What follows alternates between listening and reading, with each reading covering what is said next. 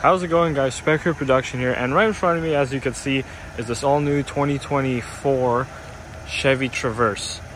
Now as you guys might have known or if you guys are uh, subscribed to my channel I've actually already filmed the Chevy Traverse but um, I figured I get a closer look right here and this is also a different trim as well so this is the RS trim right here I'll give you a quick walk around got these beautiful 22 inch rims which is pretty crazy for um, just to think about it honestly because this is a Chevy Traverse and has 22 inch rims which is crazy. Um, this is the RS trim like I said so yeah as you can see it's a fully blacked out package. You got uh, blacked out tail lights which looks super clean as well as uh, blacked out badges everywhere except for the um, RS badge right here. Got quad exhaust.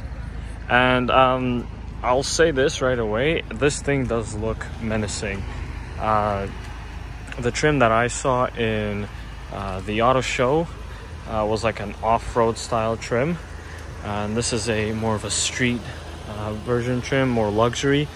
And yeah, as you can see, it's like I said, these 22 inch rims are pretty big actually. They look they look proportionate, but at the same time pretty big.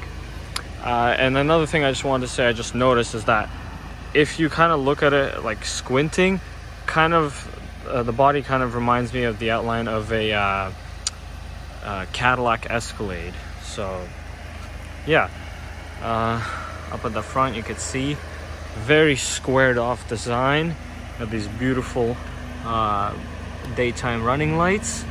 Pretty small, pretty pretty clean design as you can see also right here. Got the headlights themselves which are not big as well but it keeps the design clean. And uh, yeah let's move on to the interior. So this is the interior of the RS model. Uh, you can see it's equipped with Bose speakers and yeah overall this interior is very very beautiful. It's got a uh, full sunroof moonroof as well. So it's like a full one piece glass except for the rear there. Um, this thing is equipped with a super cruise for which for those of you who don't know it's almost like autopilot but just below. Um, and yeah. And you can see right here you got a beautiful gauge cluster fully digital gauge cluster. And then right next to it is this huge infotainment screen which as you can see is not fully connected or attached it's not even the same screen but they made it look super super smooth to where um, you can't uh, to where you can't tell that it's a different screen so it's almost like it just falls on the side there. Now you can see here here's the steering wheel. You got an RS badge right here.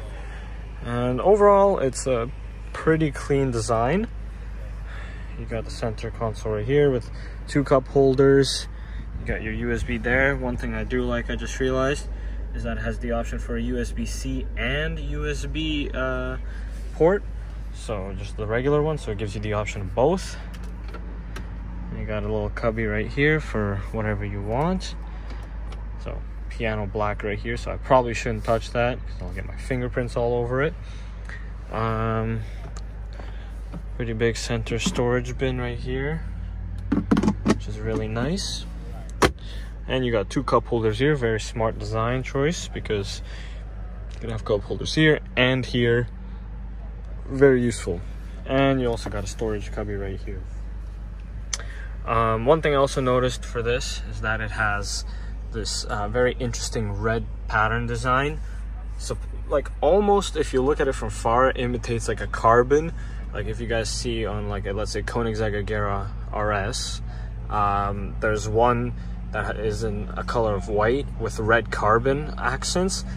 From far it kind of looks like that, but then you look up close, of course it doesn't. But still really nice. Got a little cubby right here, uh, storage um, bin right there. I mean, the glove box. Uh, and yeah, and here are the seats, pretty nicely designed. And you can see there's the RS badge right there. Um, here's the gate, uh, the uh, shifter. uh, gear selector. I mean, it's a column shifter, and um, yeah. So let's move to the back real quick. So back here, looks like there's a lot of space. A lot, a lot of space. So you got captain seats, which are really nice. Now, unfortunately, they're like manually operated. I know some cars have like fully automatic. And one thing I also want to notice, uh, just notice, is that the um, transmission tunnel, I guess it's called, I forgot, but it's super low to the ground, so it gives you basically full space. So you can, you uh, if you want to, you don't have to put these seats up. You can just walk through here and go into the back, which is really good.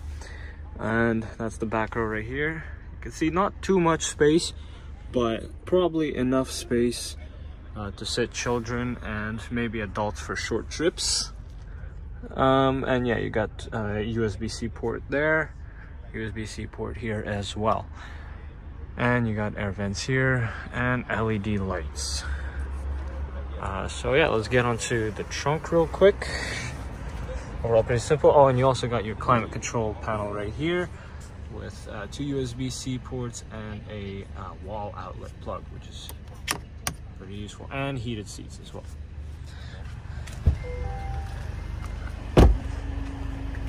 So as you can see, here's the trunk, fully automatic trunk.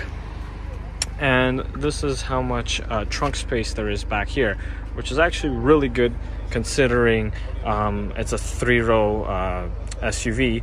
So yes, you're minimized on uh, leg space right there, but uh, you also have this a lot more trunk space here, which is really useful. And these are automatic, I guess. You could probably fold them down. Oh no, so they're not automatic, but those seats go down, so you can control uh, the seats up and down, like to move them up and down. And right here, you got a little storage bin here. I don't think there's a spare here. Probably not, but still pretty useful. So let's close this.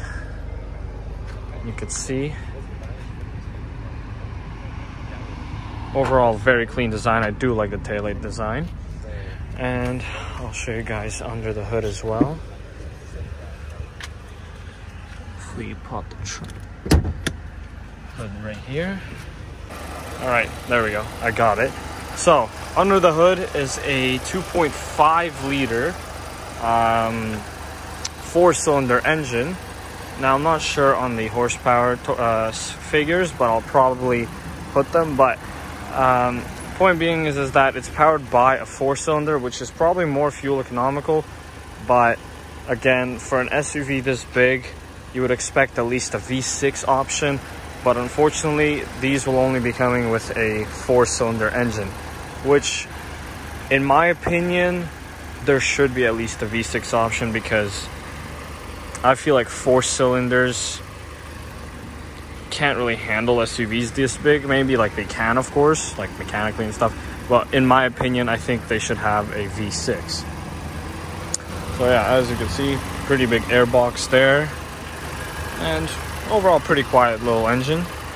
I'll probably put, like I said, the horsepower figures and the power figures uh, um, as like a little caption. But yeah, not much interesting down here.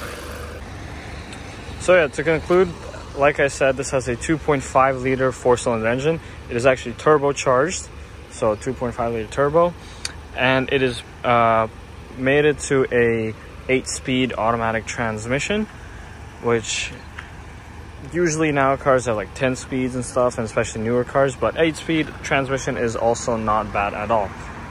So yeah overall let me know what you guys think of uh, this all new chevy traverse.